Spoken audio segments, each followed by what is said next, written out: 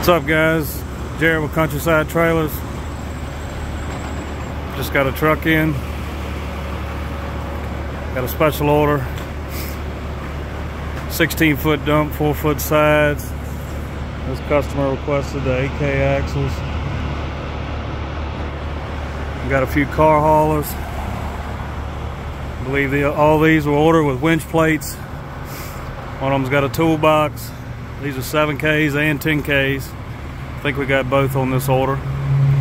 Got another 14 foot telescopic dump, 7K axles. Then we got a 22K, 32 foot deck over, and it's got the deck over the neck as well.